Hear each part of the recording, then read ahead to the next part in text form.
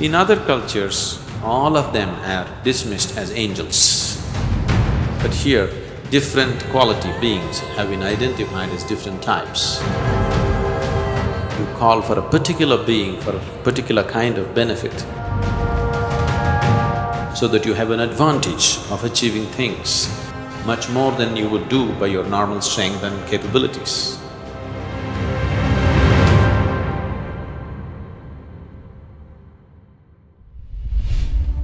In this tradition, we have various kinds of beings.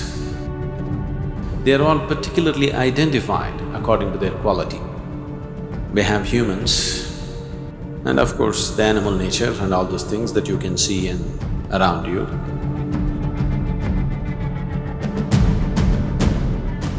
Those beings that you cannot see, there are some which we call as Bhuta Preta category.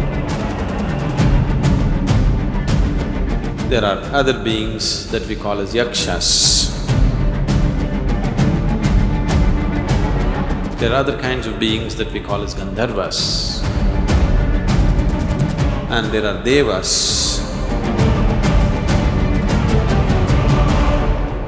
So based on this, there are tree gods, there are monkey gods, there are elephant gods, there is fruit god, there is vegetable god, there is flower god, for everything there is a god.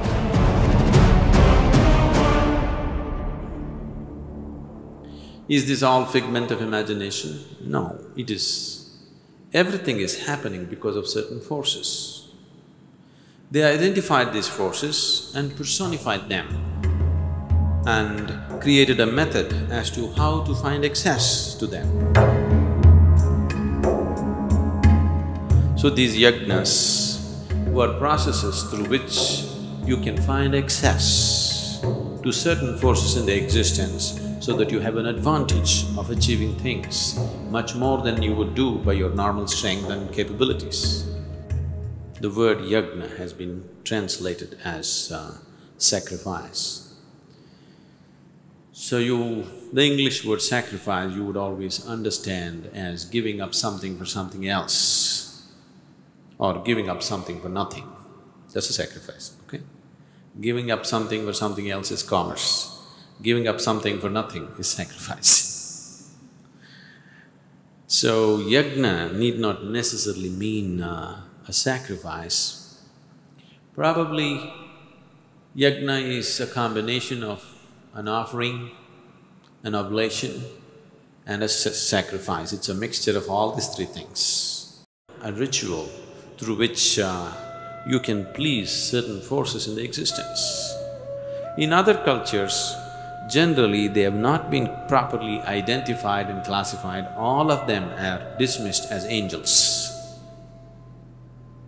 But here, different quality beings have been identified as different types and accordingly you call for a particular being for a particular kind of benefit, there is a whole process and science behind it. Even today, people are using these yagas and yagnas. Generally, for a lot of them it may not work because it's not being properly conducted the way it should be. But for many people it does work. There are many, many people who are hugely benefited by these things. People do achieve what they want to do in the material world by using yagas and yagnas in a certain way. Even though it doesn't matter how educated they are and uh, how much liberation they talk about, even today, ninety-five percent of the Indians, if they want to enter a new home, they will do yagas and yagnas before they get in.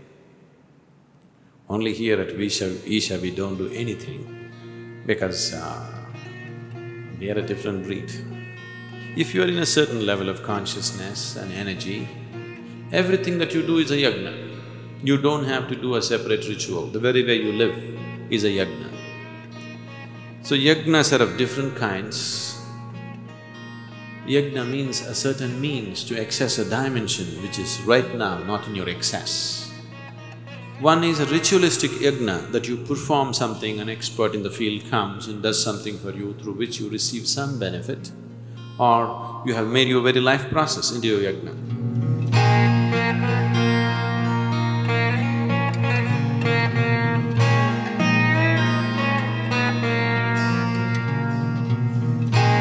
You sit in the morning and you're doing your Shakti Chalana Kriya or your Shambhavi Mahamudra, this is an internal yagna.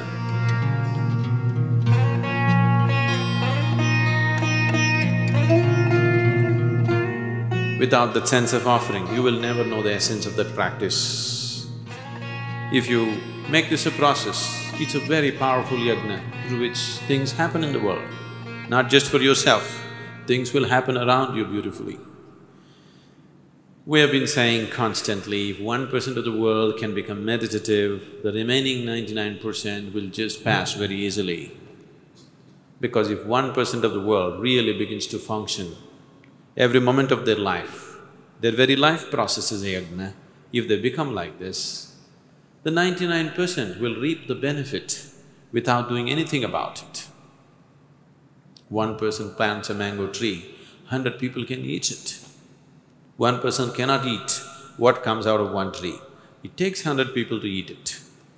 So similarly, if you have made your life process it itself into a yagna, if you have made your life process itself into an offering, then thousands of people can eat out of it. You would see simple women, just they made their life into total sacrifice people, for people who live around them in their families. They just cook, they serve, they never thought about themselves. What about me never came to them. You see, they are sage-like by themselves. My mother was a living example like this. She was educated enough, but her whole life was just serving her husband and children, that's all. Never we heard her telling us, I love you, but such a question never arose. Whether she loves me or not never arose in our minds. Because the very way she lives is in complete sacrifice for everybody around us.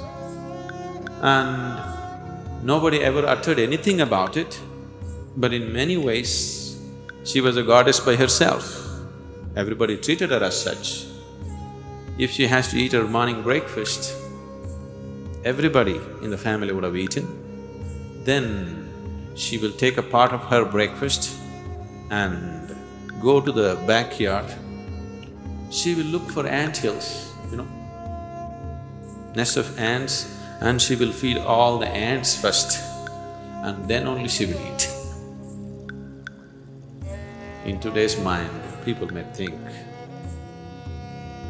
feeding ants, what nonsense. Spray insecticide, isn't it? She, if it came into the house, if it her bit her children, she also did that. But uh, somewhere in her mind, she felt the ants have as much right to live on this planet as she had.